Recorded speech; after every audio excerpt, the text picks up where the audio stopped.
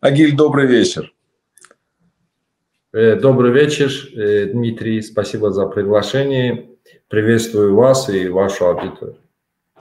Агиль, вы э, не просто ведущий аналитик аналитического центра STEM. Вы ведущий военный эксперт, военный аналитик Азербайджана, человек, который лично знаете, что такое армия, вы пилот, вы управляли боевыми самолетами. Э, и кроме того, э, вы очень точно и очень интересно ведете анализ ситуации на фронте. Поэтому, вы знаете, э, с места в карьер без долгих преамбул и предисловий. Скажите, пожалуйста, что вы видите сегодня на карте боевых действий Украины и России? В принципе, уже где-то уже 10 дней уже мы видим э, уменьшение активности на поле боя тот наступательный пыл, который был у российской армии э, на Сватово-Купянском направлении, он стал падать. Э, украинское наступление э, под Бахмутом более интенсивно. В Запорожской области в целом украинская армия перешла, изменила тактику, она хочет истощить противника. Наступательные операции мы видели уменьшение динамики, обе стороны – готовиться к игре в долгую. Вы видите игру в долгую? Да, да. Что такое в долгую? Сколько времени это займет, на ваш взгляд? Знаете, тут э, очень сложно сказать временные рамки. Почему? Потому что вот чаша весов качнулась. Вот у вас было равновесие, чаша весов качнулась устали одерживать верх в контрбатарейной борьбе. Что это вам даст? Это вам даст огневое преимущество 20-30 километровой зоне от линии фронта. Но, но, насколько вам хватит снарядов, чтобы поддерживать данный темп и истощать как живую силу, так и артиллерию, боевую технику противника – это зависит от э, наличия у вас боеприпасов. А я не знаю, сколько у вас боеприпасов. Вы можете отстреливать от 5 до 7 тысяч э, снарядов. Если вы будете продолжать такими темпами месяц, два, три, то я думаю, что у вас будут, конечно, получше условия для, для выполнения мелких тактических наступательных и контрнаступательных операций потому что э, ваш противник имеет некоторую возможность как бы дополнять. Ну да, его потери уже он не может восполнять, но некоторую часть он может восполнять. И так что сказать что временные рамки, скорее всего, это случится, если взять, что летняя кампания будет где-то до 15 сентября, то я считаю, что за летнюю кампанию украинская армия будет в состоянии серьезно попортить кровь российской армии. Попортить кровь – это э, звучит буквально попортить кровь или занять какие-то захваченные территории? Нет, я, я ни Facebook, ни как бы ни мои интервью в Ютубе не дадут мне соврать. Война на истощение. Та парадигма, которая сложилась у вас, вы не должны заострять свое внимание на каких-то рубежах. Вы поймите, какая разница, под Бердянском стоит ваш противник или, скажем, э, в Орехово стоит ваш противник. Если вы его силы не истощаете, линия фронта, значение линии фронта теряет свою актуальность. Надо сосредотачиваться именно на, как, как я сказал, на попортить кровь. Это буквальный смысл. То есть это физическое истощение живой силы и э, силы средств противника. Попортить кровь можно, но противник в состоянии провести еще одну волну мобилизации и вместо одного мяса завести другое. Вы знаете, э, ваш противник это уже делает. То есть то, тот процесс э, привлечения осужденных, это процесс не останавливается. Сейчас их собирает Министерство обороны. Так вот, дело в том, что надо противнику давать такие потери, чтобы он вышел из своей зоны комфорта. То есть вы сейчас в состоянии, скажем, э, уничтожать 500 э, солдат в день. ваш противник имеет возможность эти 500 человек восполнять. Это осужденный различный контингент. Скажем, если вы выйдете на уровень 1000-2000, если вам предоставили нормальное количество кассетных боеприпасов, вы сможете выйти на этот уровень.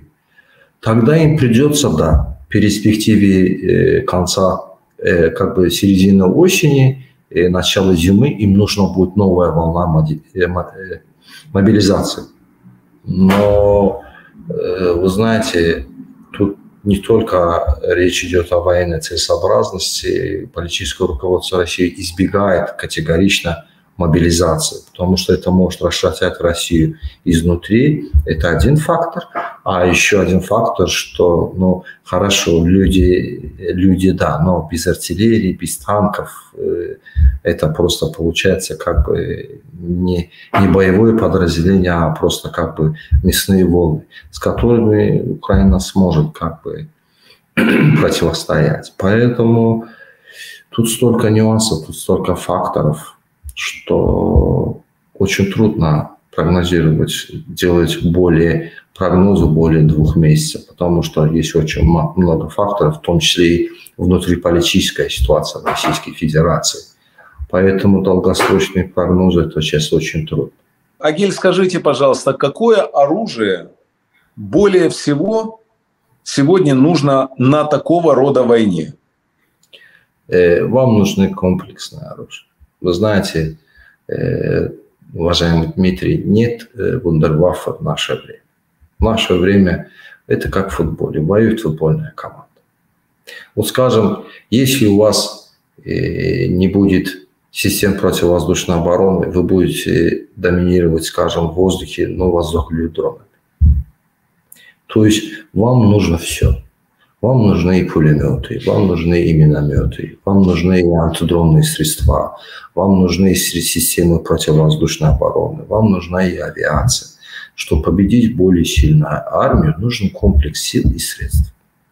Часть из них вы имеете, то есть это не с нуля надо делать, а часть из них, то есть даже вот при большом желании, мир только-только столкнулся с большой э, угрозой от дронов. И готовых решений нет. И вы сами, вот я слеживаю ваши каналы, вы сами делаете антидронные системы. Вот это надо как бы э, интенсивно, нужен государственный подход. Вот системы, которые сработали, сразу и брать и, и использовать более-более масштабно. Сейчас действенных антидронных систем в мире очень мало, потому что дроны модернизируются быстрее, чем успевает промышленность. Так что нужно все нужно все.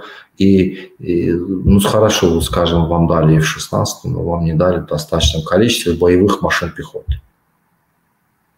Враг уничтожен, а у вас силы и средств нету, чтобы вы взяли, пошли и заняли какой-то рубеж. Поэтому, э, знаете, вот сказать, что вот это важнее, это нужнее, нет. Вам нужно все.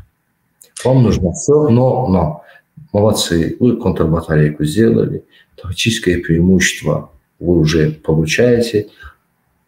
Теперь нужно подумать о тех пустотах, которые у вас есть.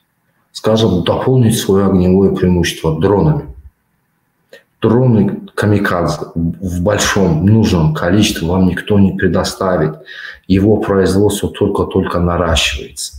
И, скажем, дрон, который сделали в Киеве при содействии с военными, который знает, на какой частоте летать, на какой дальность сделать, какое внутреннее вещество сделать, он обойдется, скажем вам, от 1000 до 5000 долларов.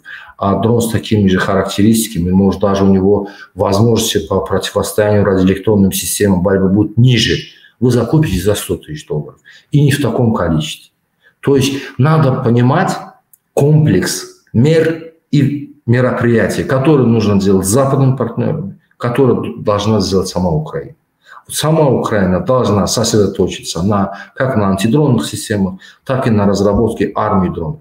Это работающая система, схема. Россияне делают. Э, второй год войны вы аналога российскому ланцету вы еще не вытащили. Что нехорошо. А ланцет – это хорошая история? Неплохая история, я вам скажу, потому что это израильская система. Она была разработана ими, передана еще до начала войны россияне, и она, эта система очень хорошо работает. Да, очень хорошо. То есть это не российская система? Нет, конечно, нет, нет. Российские системы мы видим, какого качества, какого, как бы, какие возможности у них. Нет, это, в принципе, вся бесплотная авиация России начиналась с Израиля. У Израиля хорошие разработки военные? Очень хорошие. Израиль – это высокотехнологическая страна. Я бы сказал, что одна из ведущих.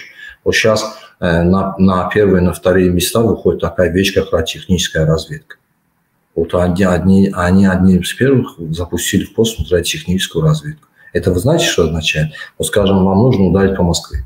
Вот как, как узнать в Москве, какие средства противовоздушной обороны работают, какие системы радиоэлектронной борьбы там есть. А у спутник пролетел, все заснял, радиограмму сигналов снял, на Земле расшифровали и нанесли удар. Радиотехническая разведка систему Кольчугу у вас есть. Вы нам их экспортировали в Азербайджан. Он себе очень хорошо показал. Развивать развивать. А это очень хорошая система, она позволяет выявлять радары контрбатарейной борьбы, система радиоэлектронной борьбы, система противовоздушной обороны. Все, что излучается, она находит с точностью 2 километра, показывает места нахождения. Дрон полетел на разведку, уточнил координаты, уничтожили. Это очень хорошая высокотехнологическая штука. У вас эти возможности есть. То есть не надо уповать полностью на кого-то надо самим тоже по некоторым направлениям. Вы это можете делать. Делайте. Друзья, у нас отличная новость. На наших YouTube-каналах в гостях у Гордона Дмитрий Гордон и Олеся Бацман появились новые возможности для нашего с вами более тесного дружеского общения. Теперь под этим видео и под каждым видео – у нас на каналах есть специальная волшебная кнопочка «Спонсировать». Нажимайте на нее и становитесь спонсором канала. Вы можете выбрать разные уровни и, соответственно, получить разные дополнительные опции и бонусы. От возможности иметь именные обозначения возле наших никнеймов и использовать авторские эмодзи со мной и с Олесей Бацман на ее канале – до участия в закрытом онлайн-общении со мной только для нашего спонсорского клуба каждый месяц. Спасибо всем, кто вступает в наш спонсорский клуб. Вся команда, которая работает над тем, чтобы наши каналы были самыми лучшими, самыми яркими и самыми интересными, очень это ценит.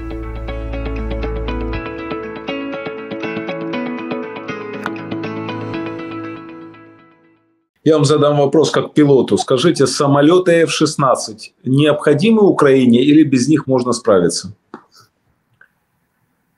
Без воздуха очень тяжело. Без воздуха очень тяжело, но вы обходились до сих пор без воздуха в оборонительных операциях.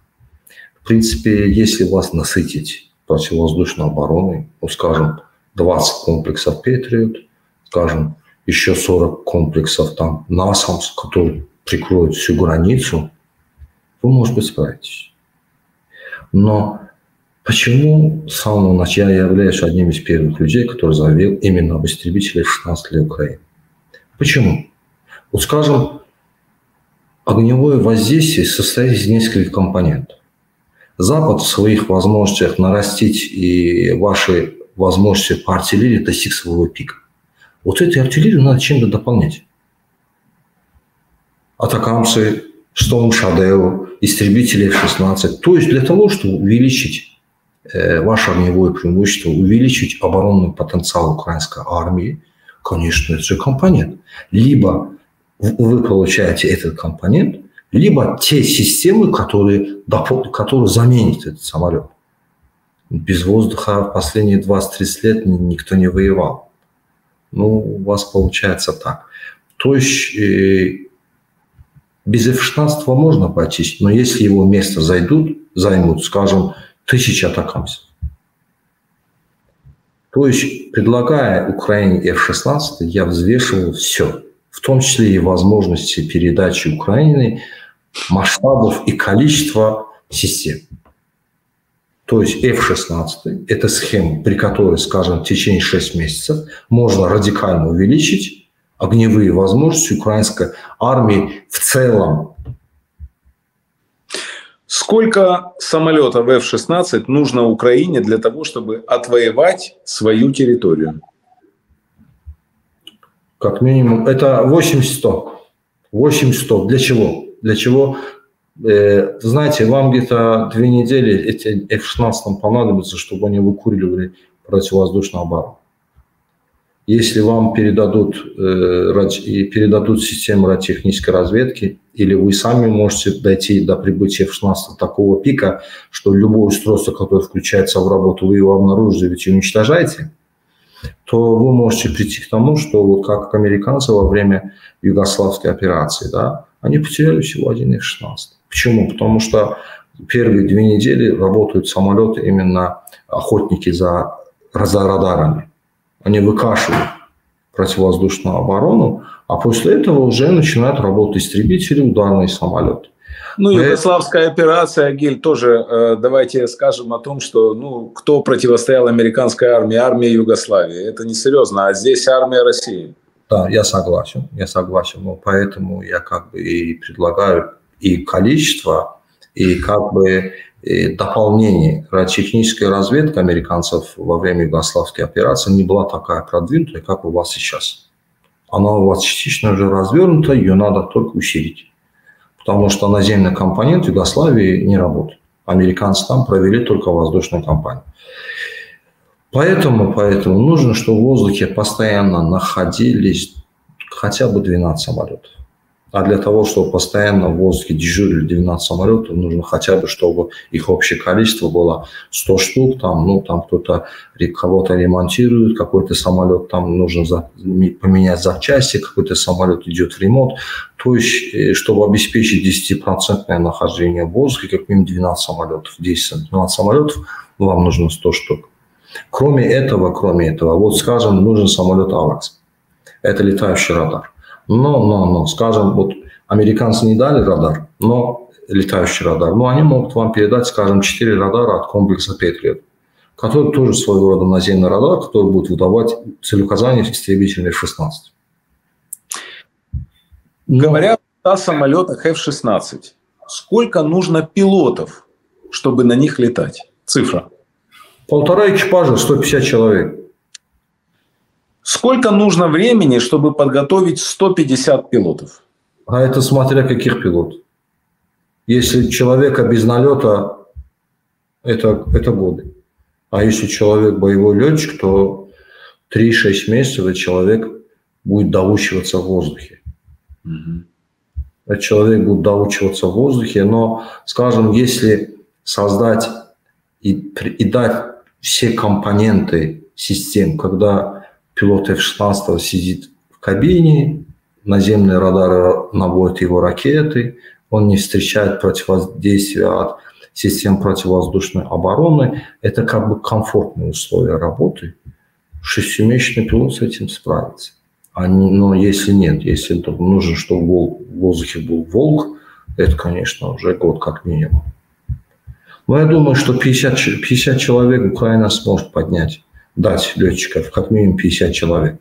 Но как бы надо работать, надо работать, надо хотя бы э, вот э, летчик, э, подготовка летчика у нас состоит из несколько, э, нескольких этапов. Есть первоначальная начальная подготовка, она выполняется на поршневых самолетах. Вот этот этап можно было уже начать сделать, скажем, э, за три месяца на тип, который перед F-16, это реактивный тип, вторая, вторая ступень, да, чтобы на второй ступени у вас был уже готово, скажем, 100 человек, и, которые, и через 6 месяцев уже вторая партия будет приступать на перевыщение на F-16. Тут очень много моментов. Вы летали на F-16? Нет, нет, нет, я не летал. На каких самолетах вы летали? Я летал на двух учебных самолетах, я летал на Су-24, и на, потом у меня появились проблемы со здоровьем, я перешел на вертолет летал на вертолетах.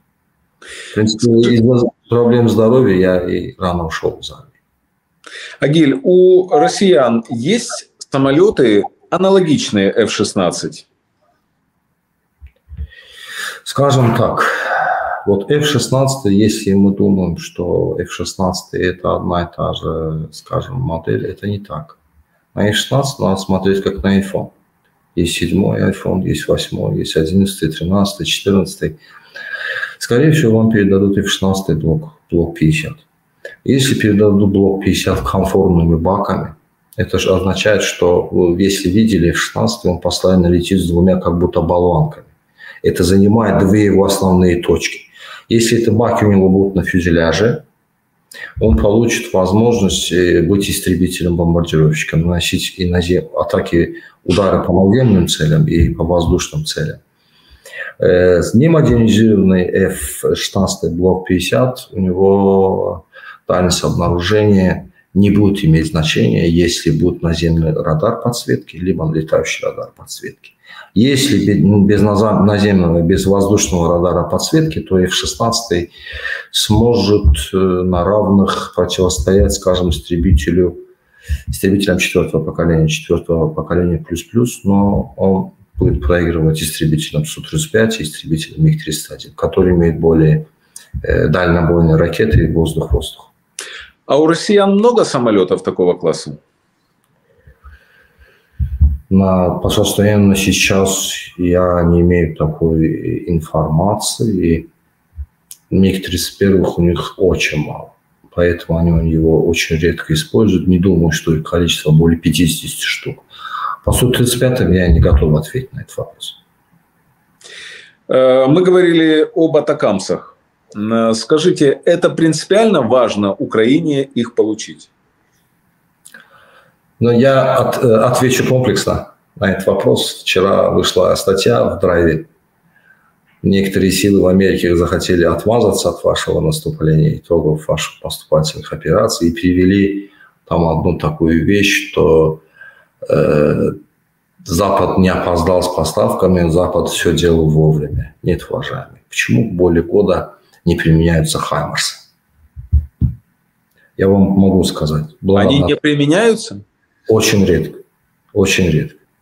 Почему? Я рэбы, рэбы работают, да? Да. А вы знаете, как рэб реагирует? Есть рэбы, которые лучше GPS-сигнал. Это блок стоит 2500 долларов. У одной такой страны, у одной такой страны была такая проблема. За три месяца все ракеты были с новыми GPS-модулями. Что помешало американской промышленности поменять GPS-модули на ракетах «Хаймерс»?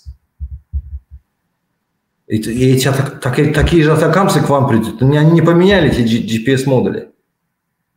А в отличие от России, у которых ракеты Х-101, ракеты «Калибр» с новыми помехозащищенными GPS-модулями. Компания, американская компания Texas. Вот вам ответ на ваш вопрос. Будет ли эффективен атакамс или нет? А это с какой начинкой вам дадут атакамсы? Если бы они поменяли бы эти GPS-модули на ракетах Катакамсу, ну, вы представьте, за целый год вы сколько бы целей поразили бы. Количество уничтоженных целей в оперативной глубине было бы в 5 раз, в 6 раз больше. Вместо этого вы сейчас вынуждены использовать Шторм Shadow, который стоит 3-5 раз дороже, чем ракета от Атакамса. Э, Но от это этого... хорошая история Шторм Shadow. Очень хорошая история. Очень хорошая история. Это удачные ракеты удачные ракеты. Ну, я думаю, что в передаче их в товарном количестве вам очень сильно поможет. Это даже будет действеннее, чем Атакамс. Потому что я обозначил, что у него будет проблемы с наведением, с GPS-наведением. Когда GPS-наведения нет, точность ракеты падает э, в 10 раз. То а здесь... там у Storm Shadow есть GPS-наведение? GPS-наведение помехозащищенное, и плюс у него э, оптическая система наведения, он сравнивает. Он сравнивает, там комбинированная система наведения. А когда стреляет GMR, э, Хаймерс, там э, GPS-наведение. Он выключается, работает инициалка, точность падает 10 раз. То есть вместо метра уже будет, будет уже 100 метров, а это уже как бы никуда. Но я говорю, что была, у одной такой страны была такая проблема. Три месяца потребовалось израильским производителям, чтобы всю, все ракеты поменять их боевой части, это GPS-модуль на новый, помеха защищен. Почему это американская... Это страна Азербайджан? Я, я нет. Можно сказать да, можно сказать да, можно сказать да. Ну, Но я просто в курсе, я просто в курсе, насколько Израиль с военной точки зрения помог Азербайджану. Да, да. Ну, как бы, а что, а что помешало Америке с ее более мощной промыш... оборонной промышленностью применять эти GPS-модули? Что? А, а что помешало, на ваш взгляд? Ну, я не знаю, наверное, нежелание, не наверное. А почему? Это комплексный вопрос. Почему это комплексный вопрос? Весь мир разделился на консерваторов и авангардистов. Россия – это краеугольный камень мировой архитектуры безопасности. Многие боятся, что будет, если Россия провалится. Но проблема в этом. А так, чтобы не помогать Украине или что-то. Нет. Ну да, есть различные политические элиты. Но вот я сужу по зрению, так сказать, администрации Соединенных Штатов Америки. Они боятся ускорять этот процесс. Ну и что будет? Вы знаете, я замечаю, что в Украине как бы спад эмоциональный, спад. Дело в том, что э, надо понимать, что это упорная долгая война. Вы будете выгрызать. Независимо от того, когда вам дадут атакамсы, когда вам дадут F-16 или какие-то еще другие системы, вам понадобятся долгие месяцы борьбы. И у вас сейчас неплохие позиции. То, что наступательная операция не совсем удачная, ну так э, война, война это не всегда победа. Но у вас очень хорошие возможности. Ваши возможности растут, российские возможности падают. Вы Нужно... думаете, падают? Ну, конечно, падают. В артиллерии вы уже валите. Они не могут восполнять свои потери в танках. Они могут восполнять свои потери в радарных системах. Ну, конечно, падают. Вам, снарядов, вам... снарядов производят кучу. А так, а пушек же нет? А чем нет. они... Нет, нет. 122 калибр, у них производства нет. 152 калибр тоже ограничено, они не смогут увеличить возможности производства. 155 калибра. Это самоходные э, артиллерийские установки, МСТА там и другие. У них нет возможности, они тоже не всесильные. А, а почему у них нет возможности? У них же денег много, ВПК работает. Э, дело в том, что для, скажем, самоходная артиллерийская установка, это связано, скажем, с запасом брони. Они не могут найти брони, броню скажем, они не могут э, найти ствол. У них, если я не ошибаюсь, стволы обтачивались в Германии. А сейчас им говорят, что, ребят, нет. То есть, точите, э, точите сами. Точите, точите сами, да, точите сами. То есть э, Россия не полностью автономна в своей оборонке. То же самое вы представьте, сколько электрооборудования им нужно. А это они сами не производили. Да, вот некоторые позиции они могут увеличить производство. Частично они количество боеприпасов смогли увеличить, частично они смогли увеличить количество выпускаемых ракет к комплексу С-300 и ракеты, крылатые ракеты воздушного базирования, калибры, Х-101. Да, частично они это смогли. Но а, по металлу у них не получается, потому что брони нет. Нет производственных мощностей, чтобы увеличить производство танков, артиллерии, боевой техники. А советский то есть задел, он, он же не беспредел. Это изношенный, часто невосстанавливаемый. Ну, наверное, видели видео. Шесть тунгусок из капремонта пригнали, одна всего боеготовая. Это они начинают сыпаться. А у вас, а вы нет. Вы крепнете с каждым днем, с каждым днем. Единственное, что нужно Украине, это как бы терпение. Я понимаю, что все люди устают. Война – это как бы чрезвычайная ситуация, но как бы ситуация не такая негативная, как людям кажется. Дорогие друзья, благодаря в том числе и интернет-магазину Gordon Shop мы смогли приобрести уже для наших вооруженных сил – 60 дронов DJI Mavic 3 Fly More Combo. Дронов, которые так необходимы сегодня на фронте. Я обращаюсь ко всем. Заходите в интернет-магазин Gordon Shop и приобретайте там все, что хотите. Начиная от футболок с моим изображением, заканчивая книгами с моим автографом. А еще там есть конфеты Гордон в шоколаде, птичье молоко. А еще там есть яйца Гордона в шоколаде в золотой пирамиде. А еще там есть кружки, зефир и так далее, и так далее. Когда вы окажетесь в интернет-магазине Gordon Shop, скучно вам точно не будет. Покупайте мой мерч, приближайте победу Украины над фашистской Россией.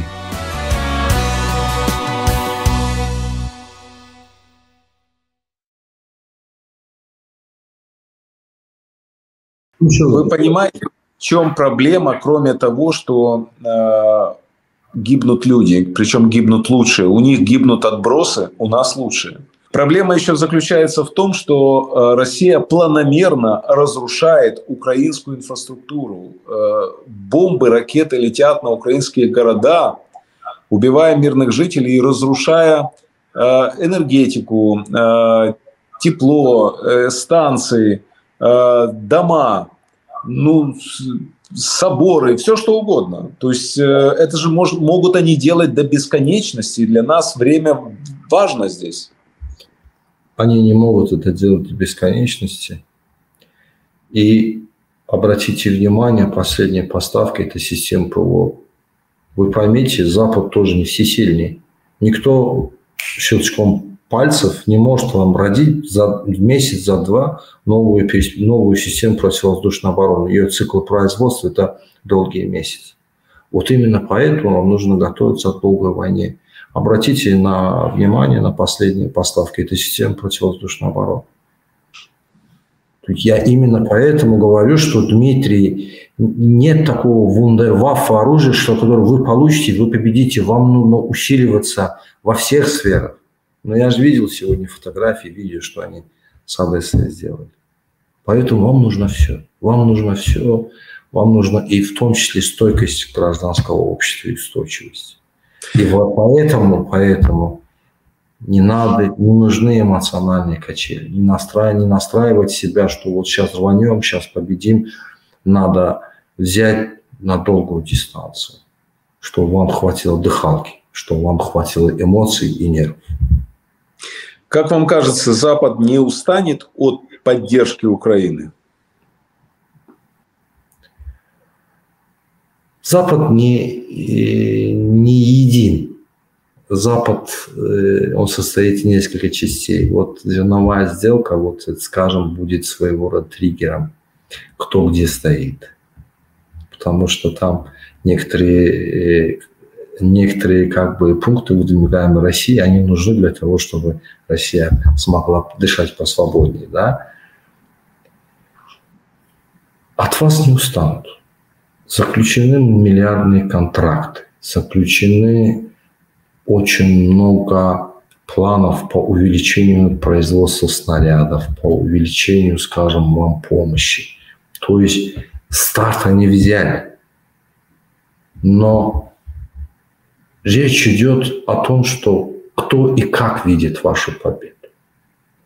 Возможно, возможно, что в какой-то момент, скажем, когда через 6 месяцев, через 8 месяцев Украина вышла на какие-то рубежи, Россия сдается, что все, сдаемся, все на ваших условиях.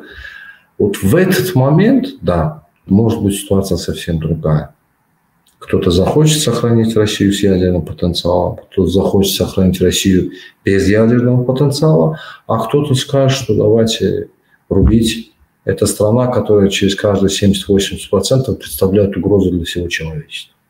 Вот тогда да, тогда вот э, тот разлад, который есть э, в группе Рамштайн, он может играть, сыграть какую-то роль. А сейчас нет, нет абсолютно. Нет, абсолютно. Игроки есть, их долгосрочные программы запущены. Нет, абсолютно. Я не думаю, что от вас устанут, но, но э, может быть Единственное, что может быть, это увеличение помощи вам может остановиться. А так, чтобы вам резко сказали, что все, давайте, идите, воюйте, нет. Я этому сценарию даже один процент не дам. Итак, мы подошли к тому, что э, война будет долгой, вы считаете? Долгой – это полгода, год или больше – с таким состоянием с таким количеством поддержки, это больше будет. Если, если к зиме, к зиме вам на 20-30% увеличить количество артиллерийских боеприпасов, если к зиме количество ударных дронов вы увеличить на 40-50%, к началу зимы над вами будут летать F-16, к осени 2021 века, э, 20, то есть к осени 2024 года вы можете добиться военного истощения Российской Федерации. Я отбрасываю все другие факторы. Экономику, внутриполитическую. Я говорю только о военном инструменте. С теми силами и средствами, что есть у вас, это может затянуться и на три года. Вам не хватает динамики, вам не хватает огневых возможностей. Грустно. Ну, есть, есть позитив. Вы не проиграли. А ведь вы могли проиграть в начале войны. Да. Ну, есть позитив. Есть позитив. Во всем плохом давайте искать хорошее. И угрозы ухудшения ситуации для Украины нет. Это уже позитив. Вы воюете со страной, которая сильнее вас в 3-4 раза. Из того, что вы сказали, я понимаю, что Россия идет вниз. И экономически, и по военной мощи. Однозначно. Однозначно. Ей может помочь Китай, или Северная Корея, или Иран? Кто-то может помочь ей? Нет. Автоматически Северная Корея и Иран выпадают из этой цепочки. Они не в состоянии подпитывать страну, которая в 10 раз больше их. Это несоразмерно. А что касается Китая, Китай может высказать свою позицию вот именно в тот момент, когда будет делить школу битва медведь. А до этого Китаю не холодно, не тепло, он теряет своего агрессивного соседа, теряет, слабеет, слабеет его агрессивный сосед, зачем ему вмешиваться? Китай свое слово скажет, вот когда вот шкуру будут делить. А пока Китаю зачем? Сидит себе дракон. Я бы сказал не шкуру, а даже шкурку. А, Агиль, скажите, пожалуйста, а, какой вы видите а, победу Украины, если мы говорим о победе Украины? Несомненно, военная политическая победа, выход на границы 1991 года, изъятие в России ядерного арсенала. Изъятие. Изъятие. Однозначно, изъятие ядерного арсенала. И, скорее всего, Россия – это империя, она должна перестать быть империей. Ну, я как бы Америку не открываю, через это прошла Япония, через это прошла Германия. Империи лечится только делением. Другого способа излечить имперскость населения и ущербное мышление, другого способа нет. При любом другом раскладе вы оттянете войну, будут воевать ваши дети. Типичный пример наш, – наша война в Карабахе. Я хочу коснуться как раз отношений э, Азербайджана и Армении. Я очень хочу, чтобы наконец настал мир, восстановились границы государств на момент 91 года, а чтобы Азербайджан и Армения дружили, а чтобы армяне и азербайджанцы перестали убивать друг друга. Мы увидим в ближайшем будущем то, о чем я сказал проблематично. Знаете почему? Вот я, я вот вам э, обозначу ситуацию по сравнению с вами, вы все поймете. Вот, скажем, война закончилась между вами и Россией, россияне покаялись. У нас одна и та же ситуация. У вас Донбасс, у нас Карабах. Никакой разницы нет. Да. Да, ну как бы россияне покаялись, там какие-то процессы произошли, кого-то посадили, кого-то э, кого-то там убили. То есть э, уже каких-либо процессов, каких-либо вы не воюете друг другом, делить вам нечего, все уже позади. Во-первых, нам не дали э, добиться этого. А во-вторых, э, армянская диаспора во всем мире и, скажем, э, Фран, подход Франции, подход Ирана, они не дают Армении нам мириться. И, э, э, скажем, мышление армян, оно до сих пор, как бы, оно тоже испорчено своего рода имперскими, как бы, наркотиками от моря до моря. Так что, как это будет, что это будет, ну, как бы границу закрыли, говорим, давайте делать интеграцию, они блокируют дорогу между Азербайджаном и Карабахом, что нам ваши продукты не нужны, ничего не нужно, ну, здравствуйте, ну, вы наша территория. То есть вы, чтобы купить пачку сигарет, должны в Ереван ездить? Вот эти силы не заинтересованы в том, чтобы на Южном Кавказе был мир. Ни Франция, ни Россия, ни Иран и сильно, очень сильная армянская лобби э, в, в Америке. Ну, okay. Интересные люди, да, сидят там и кричат, э, в общем, деремся до, до последнего армянина. Как вам история? Сидишь в Америке, пьешь кофе, да, и оттуда как бы отправляешь 100 долларов и кричишь, нет, как, как бы нельзя давать ничего. Поэтому. Поэтому очень большая проблема. Надеюсь, что вы, у вас так не получится, вы свою победу до конца как бы сделаете, и таких проблем у вас не будет. Ну, как бы нужна операция. Ну, окей. Но житель Карабаха этнической национальности. Вот обеспечиваем безопасность. Уважение. Все, что надо. Давайте. Экономику. Все, машина вас заберет, вы в азербайджанской больнице, вас прооперируют, и вы вернетесь домой. Или, скажем, вот они сейчас орут, кричат, кричат, что блокада. Кто делает блокаду? Для них рядом с зоной э, ответственности российского, так сказать, в кавычках, миротворческого контингента создана специальная инфраструктура. Скажем, нужно мука, чтобы печь хлеб. Нет, говорят, нам нужна армянская мука. Ну как как вот разруливать эту ситуацию? И может кто-то может, хочет прийти там купить мешок муки. Но вот главари их, сепаратисты, да, которых сверху давят на них, с Арменией, там, с Россией, там Варданян же там, путинский любимчик. И вот эти люди не дают процессу интеграции. Поэтому моя жизнь прошла вот в этой войне. Мне было 12 лет, когда все началось. Я хотел, чтобы этот кошмар закончился. Но реальность вот такая. И когда это закончится, я не знаю. Агиль, я вам очень благодарен за интервью, знаете, за честный такой непредвзятый, очень профессиональный подход и анализ. И я очень хочу, чтобы мы с вами поговорили уже э, тогда, когда мир придет и на землю э, Нагорного Карабаха, когда будут дружить армяне и азербайджанцы, как раньше дружили. И когда, конечно, Украина освободит свои территории от ненавистной России. С удовольствием. После вашей победы мир изменится. Я думаю, что и у нас на Южном, да. у нас на Южном Кавказе будет мир. А я желаю удачи и победы Украине. Спасибо вам. До свидания, всего хорошего. Спасибо.